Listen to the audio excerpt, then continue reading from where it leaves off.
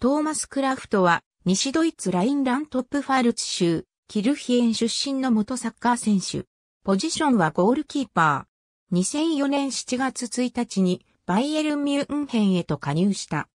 世界的名手であるオリバー・カーンが引退した2008年にリザーブチームから昇格したが、その後もハンスイェルクブット、ミハイル・レンジングに次ぐ第3次 EK に甘んじ出場機会に恵まれなかった。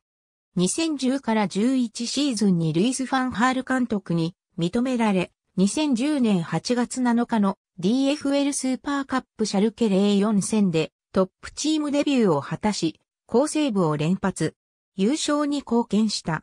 11月23日のチャンピオンズリーグ AS ローマ戦で欧州デビューを果たした。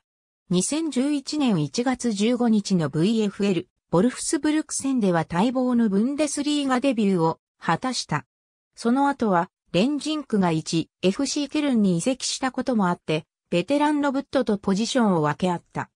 2011から12シーズンは、シャルケ04からマヌエル・ノヤーが加入したことで、出場機会減少が見込まれたため、5月9日に一部復帰を果たしたヘルタ・ベルリンへ移籍した。